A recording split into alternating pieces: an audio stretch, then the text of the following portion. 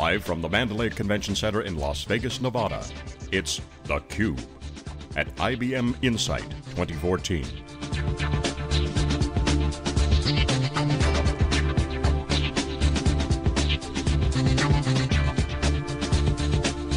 Here are your hosts, John Furrier and Dave Vellante. Okay, welcome back everyone. We are here live in Las Vegas for IBM Insight, inside the social lounge at Insight Go. This is the CUBE special presentation here, live on the ground. I'm John Furrier with Dave Vellante. Our next guest is Franz Gil, Dill, partner at PKL, Knowledge Partners. He's a big data guy going way back. Welcome to the CUBE. Nice to be here. Procter & Gamble, I mean, you've got your hands, you've wrangled some data in the I've been past. yep, Um, yep. So, you got some experience. I want to get your take on it because Mm-hmm. Bob Picciano was just on for um, IBM. He's old school, he's seen that whole database transition, client right. Mm-hmm. server, operationalizing, process improvement, now to utter chaos, inflection point today. Right, What's your exactly. take on it? What, what's your take on the current my, situation? My, my take on it is it's something we've done for a very long time, but it hasn't very been very well implemented into the corporate corporate structure, if you will. In other words, you could come up with solutions to, to problems. There was, there was enough data, but there was never the big data that we have today. But it was very difficult to get it implemented into the, into the, uh, into the uh, uh, uh, infrastructure of the company as, as well. So there's a lot of, um, the word engagement is coming out a lot. Right. I, didn't- I didn't have a chance to talk to Bob Picciano about this because he had to run. I mean, they got some big time announcements coming tomorrow from what I'm rumor, rumor mill Right. is going on. But uh, engagement used to be a, a system of engagement. You know, that's a Right. records. It's a kind of a data warehousing mindset. Mm-hmm. Now we are here in the engagement social media lounge, and engagement means actually talking to people. Right. So Right, now exactly. you're bridging da- active data from people, humans, into systems and data changes data, what Bob was talking about, as a data person out in the field, this is a complicated kind of nuance Right. that people are trying to grab, get their arms around. What we have today, though, is we have people that are really interested in engagement. In a sense, we didn't have that 20 years ago. In other words, you would get the executive, uh, you talk to the executive, you say, we want to help you solve your problems, and they say, fine, and they would say, we'll talk to you next month about that. They weren't very interested in engaging you with the data they have. Today, almost everyone knows that it's a data problem. And almost everyone knows that data is being gathered constantly by their devices, by manufacturing systems, et cetera. In a large company, you've got many different kinds of data being gathered at once. Uh, executives are very interested in how you take that data and apply it to, to value to them. And so at least today, everybody's interested in talking. It's not to say that they, they know how to talk yet, they know how to make the conversation, but they want to talk. There's no doubt about that. So in, in, the, in the early 90s, for example, I worked with P&G executives, and you get maybe one out of 10 executives that would have a, a, uh device on their desk, on a actual desktop on their desk, that would be willing to look at the data in, in something other than sh- printed sheets, And P&G. Procter & Gamble, their data, they were very much data jocks. Very much so, and P&G is a good example. They were very early, they were data oriented, they understood that data would drive their business, especially in the world of marketing. So very much so, but even there, even there, it was hard to convince people to engage, getting back to your word again. What were the toughest questions that these P&G guys were asking? Because, you know, my experience in the consumer side back then, there's probably those age-old questions that come down from the top, like, hey, how are we doing with? How are we doing positioning? How's the brand doing? What's the product doing? Are our customers happy? Does the advertising work? What advertising works best? Should we do, be doing different advertisements? Uh, in the case of new initiatives, new products that are putting out, how well are they doing? There was a lot of work going on looking at, okay, we need to know as early as possible whether this brand is doing well enough to keep it moving. Okay, so this, this issue of speed, which was talked this morning, was a very important issue. But at that time, it was very difficult to get that data. You bought it from Nielsen, you got it from different services, for example. It took m- weeks, months to get that data in place. Huge lag. Very much lag. And now people see you can get that data pretty quickly. Okay, so you lived in an environment where you were getting peppered with the questions, you knew there was Right. lag, you had to send out to the reports come out, it's like that, that Office Space movie, you know, the TPS reports, and you know, it's just like, oh my God. Right, right. How, when is it going to come in, what month? That's now, and you know, we're experiencing, you know, an amazing inflection point where, for the first time in the history of the world, You can measure everything. You can measure everything. So yeah. how do you deal with that? How do you just jump in? Well, I'm sure Procter and Gamble, these guys are like, you know, jumping in, chaos. I, I think the other word that was brought up today was curated. There has, still has to be the role of a, cu- a curator, and there are different kinds of curators. There are people that know the data very well, they know how it's been gathered, where it comes from, how old or new or, or, or stale it is, uh, but there's also the analytics person that needs to be involved.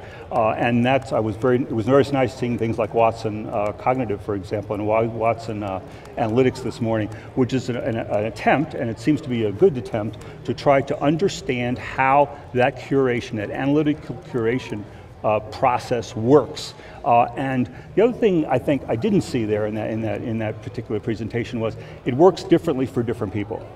So if I'm, if I'm uh, uh, basically curating the data and the results of the analytics to an analyst, that's a different thing from when where I'm curating data, for example, to someone who is an executive, for example, who's responsible for a particular marketing operation.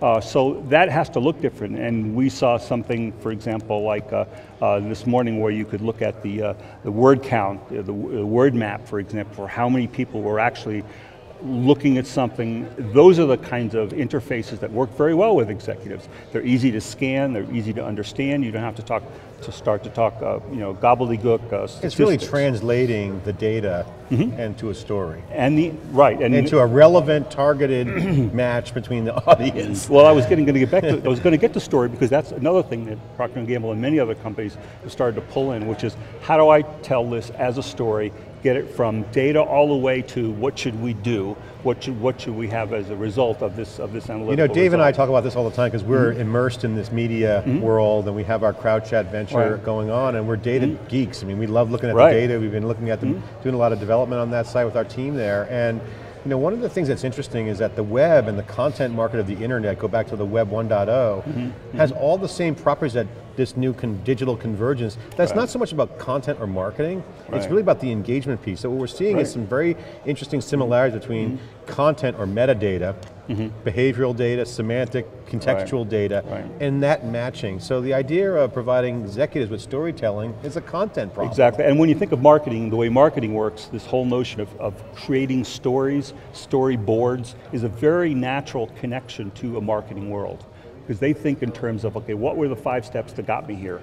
And show them to me in a very simple format.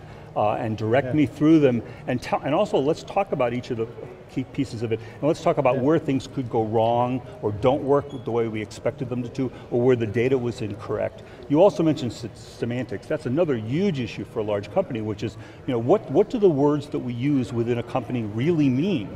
They mean different things. Look, to give an example from Procter & Gamble, the word Tide is a, is a, is a detergent. Mm-hmm. It's also a, a, uh, a geological and ocean term, for example. Something as simple High as tide. that. So, so yeah, somebody could be saying, grass and should high be tide. What does that mean?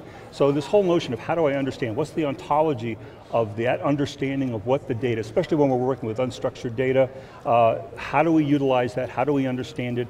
Uh, talking to a medical system, a medical analytics system versus a, versus a system for a large marketing company, a large manufacturing company, is a very different thing. Yeah, I want to get your ta- take on this. I want to go out and kind of go out and spin up in the, into the ether a little bit on some concepts, just riff with you. this Mm-hmm, sure. Mm-hmm. notion of data operating systems is interesting. What you just mentioned is essentially Right. data is the key resource to dynamically provision an application Mm-hmm. benefit. For the lack of a better description. Meaning, if I want operational analytics, I can take data and make it work. Right. If I want robotics, I can make machine learning work for that. So these are applications of data. If these are things that are becoming applications of data, if that thesis is true, Mm. then data is a programmable resource. And if that's the case, it should be a fabric or layer. so Well, that's not your traditional, you know, No, siloed disks and storing data Right. and, and you know mining it, pulling stuff in and out. That is an ever evolving organism. or Yeah, and do we have, the question often comes up, and I've been in many projects where we would show up and say, do we have the data to do this? And it turns out we either don't have it, it's in the right form, it's been gathered in a way that's now ancient and can't be used. I mean, there are many reasons why data won't work against the problem that you're, attem- you're attempting to, to, to do. And so those are the kinds of things that you will run into frequently. This creates more mm. chaos, which I love. Yeah, chaos yeah, theory yeah. kind of plays in with network Right. theory and all this stuff. Right. Kirk Borne was on earlier, and we were talking about mm-hmm. this, and he had an interesting point. I like what he said. He actually said it when he was walking off because we kind of kept the conversation rolling. yeah, Should yeah. have like a behind the stage should, scene. yeah, behind the scenes. But he said that you know back when he was doing all this computational algorithmic stuff um, when his physics, uh, astrophysics work is that the software package would throw out all the skew data points off outside the mean. Right, Which right. now he's finding, bring back the long Those are- tail. absolutely. Those are discovery points that now are They are. Mm-hmm. absolutely exploratory, one, in real time, and two, are providing amazing insights. Right. So what's your take on that? And is that, do you agree with it? Oh yes, I absolutely agree. In fact, that was almost the methodology in the, you know, 20 years ago was to throw out all those, those data points. There must be something wrong with that data, so why should we even keep it? And it turns out there's a richness in that data, in that data on the, outside, the, outside the mean that's of a lot of value, and it makes lots of sense. In fact, we've even, even talked about things like how do we value, how do we value, do we evaluate those particular items of data as they sit outside, they look like outliers. But, but you're right, those are the kinds of things that, that's a big change that's occurred. So Dave. Vellante wants to get a word in. you I've been So, dominating. fun, fun, Dave, so Dave, guys- welcome to the conversation. Thank you. Hi. So you, uh, Hi, I'm sorry, I, I, no, I no worries. So you guys were on a roll. Yeah, So you started off the conversation talking Right. about uh, there are a lot of people in, in analytics practitioners say, Mm-hmm. ah, we've been doing big data for a long time. We hear it all the time. Big data, big deal. Sure, I'm sure. dealing with petabytes. Yeah. But things are different. Yeah. Uh, certainly there's technology like Hadoop and NoSQL that are different. You've been talking about some of the cultural changes, but I wonder if we could sort of boil it down. Is it different? What's different specifically? It's different, it's different for several reasons. One in which we can, we can, we have the tools, we have the analytical tools, and certainly the, the parallel processing tools, to be able to look at much more data than we had before, so that's one. The second thing we have is we have, we have the data. We simply have the data that we can work against. In the past, we very often did not have the data, there were holes in it, we, we, we just couldn't do the kinds of things we, we, we, can do today. So that's another piece that certainly is very different from, from what it was before. Uh, there's also an understanding, it gets back to the engagement notion, there's an, un, an understanding from everyone, from you know, new hires up to, to the executives of the company, that there's value in lots of data, in lots of, and not only lots, but also volatile data, data that we would have thrown away in the past, data that we haven't looked at very closely. There's value in being able to take a closer look at that. And so that's another thing that's radically changed just in the last few years. Technologically wise, I'm not, you know, machines are faster, some of the methodologies are better, but they haven't changed as radically as that notion of we can now engage with the data, if you will, that you, we couldn't do in the So past. culturally, are people uh, accepting the data more? I'm, of course, I'm worried, right? Because who's the consumer of the data? Some Mm-hmm. Right. P&L manager. Right. And uh, if, if, if that, uh, that insight uh, conflicts with, Mm-hmm. with an initiative that I want to drive, what am I going to do? I'm going to attack the data, I'm going to show a different data source, I'm going to confuse my executives and say, and they're going to say, "Who- who- who's the, what's the truth here? Are we further away from the single version of the truth? How, has that changed at all? Uh, no, that, that in fact hasn't changed, but people understand in the past they didn't have to deal with the data, now they understand they do need to deal with it. in the early days, we, we basically worked with executives directly, the executives that would listen to us, that would engage with us. Uh, we worked with the data, we got results, but some of the next, the next level of management wasn't that interested in working with that, and so like you said, they would have to find ways to work around what the, what the data was saying. Uh, they aren't able to do that the way they could in the past. so it would, it would seem that processes have to be in place to test Right. the data. And You- how has that changed? The, the processes work because now we've, we've started to understand that business is a process. Uh, business using models like business process models, for example. That's a relatively new technology. It's probably been around 20 years, but it's relatively new in the way it's being used inside corporations. So they can say, okay, not only do I have an answer, but this answer exists in a business process model. And, and uh, if you want to attack whether or not the result is correct or incorrect, you need to go into the business process model and show us why it doesn't work in terms of the way the business works. Sometimes even building the business process model gets you a lot of uh, value, just understanding it, going through it. And sometimes you'll show that to an executive and they'll say, I didn't know that's the way our business worked. So there's the revelations that occur. Once you, once you get agreement on the model, on the business process model, then you can go back and say, I want to gather data here, here, here, and here, and then I'm going to be able to talk about you know, what are the changes in data? What's the, the streaming of the data look like? How does it change over time? Uh, what kind of analysis can we run against it? Can we run clustering or regression or other methodologies against it? But the key is you have to know how it exists in place, in the place of a business model. So I can see that being an interesting discussion too, is Right, getting separate- agreement on what right. that business process model Right. should actually look like because you know, the, the- traditionally there's some schema that people have, Right. Mm-hmm. a mental model, and that, that dictates you know, the business process model. Now, when, when we talk to practitioners, they say that, that The number one number one challenge they have and tool set they use is data integration tool sets mm -hmm. for their big data initiatives. Right. The second one is their existing data warehouse. Mm -hmm. And that mm -hmm. traditionally has dictated that business process model, but I'm inferring from your comments that it's changing. How is it changing? It, it, I wouldn't call it changing, but I think people are recognizing the fact that you have to understand the business process model as well. What you mentioned with regards to dealing with the data and understanding it, that is certainly a big part of it because that's driving what your model is, what your, what your, what your business process can do, but it's also good to step back from the model and say, this is what it looks like. So, so from our perspective, that's what we did. We built hundreds, thousands of models that basically looked at different parts of the business, how they interacted, you know, what the steps that were taken, what resources were needed at each step, what data was needed at each step, what data, how could we do a better process if we had better data at this point. So you could ask a lot of questions that were basically driven by a business process model. You could also ask questions that are driven by data. So I, I, see it coming at from two different directions towards the same same result. How about the how about the data sources? I mean, P&G is renowned mm -hmm. for you right. know listening to customers, focus groups, surveys, and, right. and, and the like. Samples. Structured, unstructured, there's all sorts of stuff. Yeah. We did unstructured work uh, uh, 20, 30 years ago with, with approaches called content, content modeling, for mm -hmm. example, which was an early unstructured data uh, text-based analysis techniques. So we've been doing this for a very long time. So right, P&G does that. P&G now has a system called One Consumer Place, which gathers lots of information from consumers about what they like best or don't like best about various products. Again, these things are getting very large, they're getting very big, they're also very volatile. Uh, as, as the world changes, as, as something new trends, you know, the way consumers think about a product may change very radically as well. So we certainly try to uh, innovatively look at all the capabilities, like Twitter, like other methodologies, to say, how do they change what our data looks like now, and what will they change our data as it looks like in the future? So I like to ask mathematicians, mm-hmm. mathematicians yeah. these questions. So right. we've had some data, big data practitioners tell us, mm -hmm. particularly in the financial services industry, mm -hmm. sampling is dead. I think of John Abimeta, right. who said right. sampling is dead.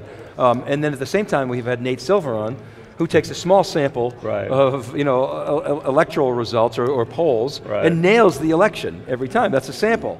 Yeah. So, well, how do we well, make sense out of all that? To be honest, I mean, I, have been involved with a lot of sampling-based techniques within with a company, and Procter and Gamble does lots of that. We used to have rooms full of, of statisticians. Don't have as many of them as we usually we used to have, but we have that today.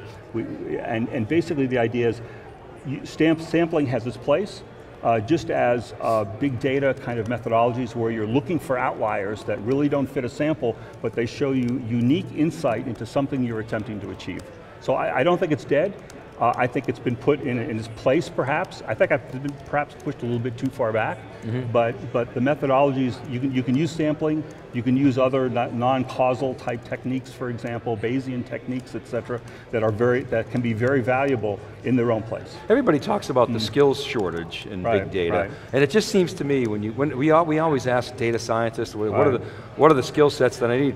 They, they're, they're skill sets that exist. It's sure. just a, a, mashup of those skill sets. Seems it, to me a huge opportunity for organizations to train up their existing Absolutely, and we do staff. that. We, we try to, I mean, before, before I retired, we, we, we, we got people young, tried to train them in our business, because it's a very key point to know the business. It gets back to the business process model. You have to know enough about the business process model that you're talking about to be able to deal with that model.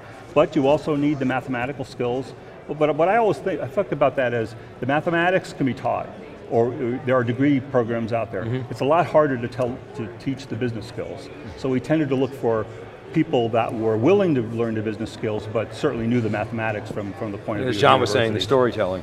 Some questions from the yeah. crowd chat. An, first of all, we got an amazing crowd chat going on with the influence of Brian Fanzo, uh, and Carla is running an amazing crowd chat. Carla Gentry, data nerds, or we're data They're underscore it, nerd. Yeah. Um, the question from the crowd is right. very simple from Tim Crawford. Right. Are folks too constrained by business process model when thinking about data? Uh, they, they, are, to, be honest. Just the, the, same way that I say that business process model is important, uh, you have to understand that it's not rigid, and in fact, even worse, it's not correct. In other words, you can interview a lot of people and discover a business process model, and then you can discover afterwards that that is not the model that is really operational in that company.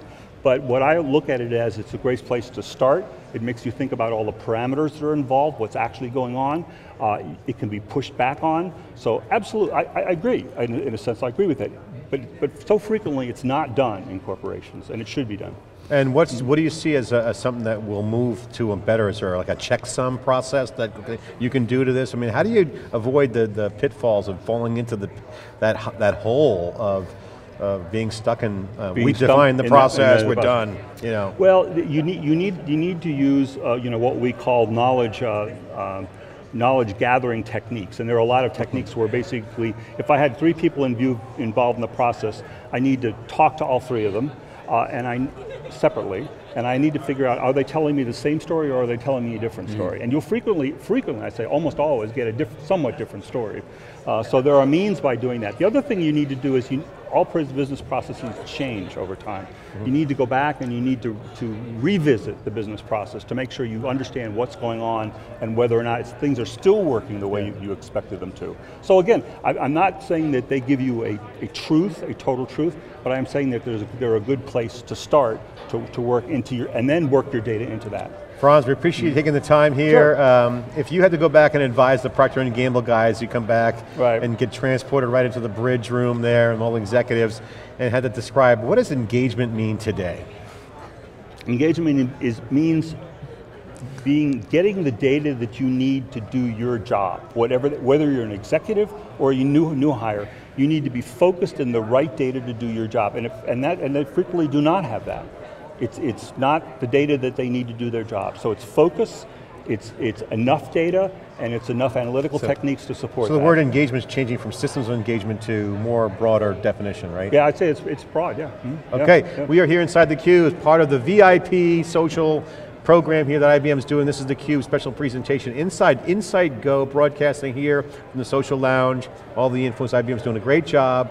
Uh, really putting together a great set of influencers with a lot of sharing, organic. It's like an unconference within the conference. We've got a crowd chat going on right now with the influencers. We're here broadcasting live here for two days as theCUBE. We're right back with our next guest after this short break.